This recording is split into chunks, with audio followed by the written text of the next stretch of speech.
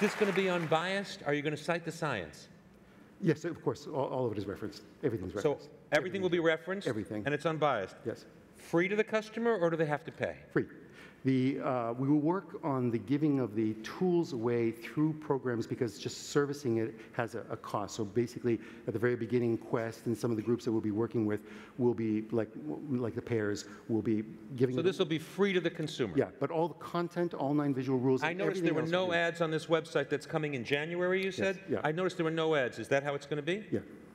Unbelievable. Okay, so somebody asked, one of the audience members said, can I upload my own electronic health record here? Will I be able fairly soon to put all my data in in a lump and then all about me? Well, once they actually uh, get the program, the, the data from there will be automatically, it uses an HL7, which is the program that you get your hieroglyphic lab reports on. Those now will just be immediately translated into this program, into this visual experience. So Alexander, let me see if I get it right. I'm going to download this to my own computer. I'm, it's not going to sit in the cloud, you're saying? It can sit in the cloud, it can sit anywhere you want, but basically... Or I can download it if I want. Yeah, but you don't have to manually put your data. It's all, all automatically put in wherever it's going to sit. And we had somebody say it's not going to be in Flash, right? No. Okay, good. I had to bring that up. Whoever asked me that question, I did it for you, okay? Like flash and all capitalized. Okay, so children's version. Come on, storytelling, we got to start young. Yep. We heard, you know, Rick talking about those stories with his kids. Children's version? Not yet. Not yet. Okay, so we got a, a real opportunity here for somebody to step up and provide the cost to pay for the children's version because if we need a version of this, we clearly need a children's version. Okay, and then other questions. So I, I know I just have to do one thing here. I've got to bring up just a few words you said that were so beautiful, and I just didn't want them to fly by. Mm-hmm. So the marvel of how we are made. You know, you know, as a, as a collector of the history of human imagination, the marvel of how we are made is so lost. We, we don't teach it in our schools. It was such a beautiful thing.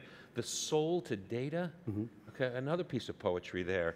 Um, and then when you showed me, here is your brain on stress, I, I thought of those, you know, brain on drugs ads. and- But here's your brain on stress. You know, people tend to dismiss, men especially, oh, that's stress, that's the, for wusses, mm-hmm. okay? And yet you're saying, it's not for wusses. Watch, the dendrites actually get smaller. Hard to argue that stress, you know, I was talking to one of the military guys here, and we've got uh, 20 of them from, from the base here on scholarship, from the local base here, which we brought over as part of our scholarship program. And he's a psychiatrist, he's in the audience here, and talking about how in military the stress is such a big issue, we lose more servicemen to suicide, more to suicide than from enemy combat.